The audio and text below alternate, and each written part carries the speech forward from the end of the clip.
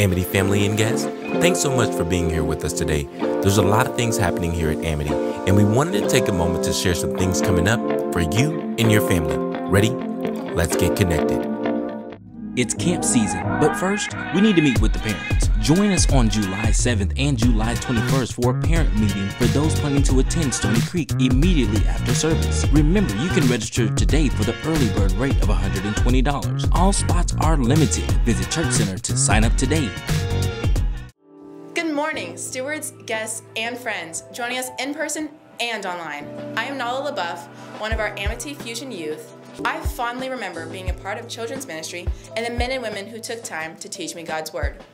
You have an opportunity to make an impact in the lives of children in our church and community by serving in Amity Kids Children's Ministry. If you are an Amity steward and would like to serve, please email children at amitybc.org to learn more about available roles. Tea Cakes Fall Teaser. Ladies, save the date for our Women's Fall Tea Reimagined. Tea cakes and testimonies on September 14th from 12 to 2:30 p.m.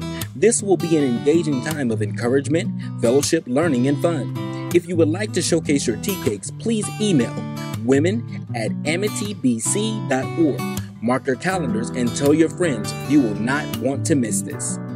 It's been a great worship service. Stay connected during the week by visiting our website at amitybc.org or take us with you on the go via Instagram, Facebook, and YouTube at Amity Bible Church. Our prayer is that you have an amazing week and that God will meet you right where you are.